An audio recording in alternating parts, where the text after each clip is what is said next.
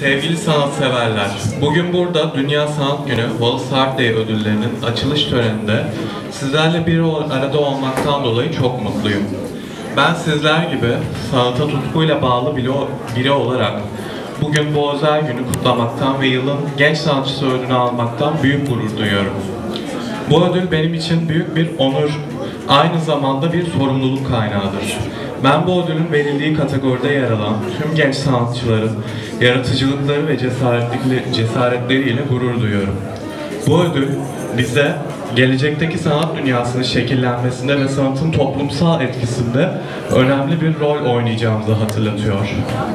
Ben Mersin'de doğup üniversite eğitim için İstanbul'a gelmiş genç ve queer görsel sanatçıyım.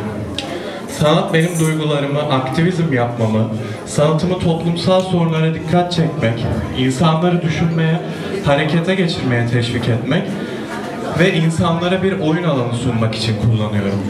Sanatımın amacı insanlar arasında bağ kurmak, farklılıklarımızı kutlamak ve yaşadığım travmaları iyileştirmek üzerine kurulu. Ben sanatın gücüne inanıyorum ve bu ödülle birlikte yaratıcılığımı, sanatsal gelişim sürecimi geliştireceğime, dönüştüreceğime ve sürekli yenileyeceğime söz veriyorum.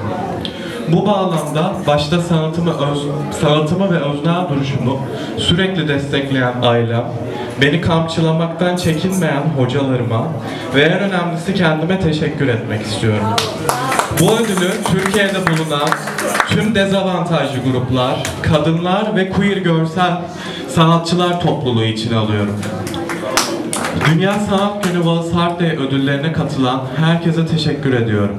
Ve umarım hepimiz sanatın gücüyle bir arada, birleşe birleşe ve yeniden baharları getirerek ikili cinsiyet sisteminin tanımları ve algılarıyla sınırlanmayı reddederek toplumsal cinsiyete dayalı eşitsizlik ve ayrımcılığı sorun edinerek cinsiyetçiliğin, türcülüğün, hiyerarşinin, ırkçılığın ve homofobinin kullanıldığı dil dışında bir dil üretmeye çalışarak Ulu Önder Mustafa Kemal Atatürk ilke ve inkılapları ile daha güzel bir Türkiye ve dünya işareti. Teşekkür ederim.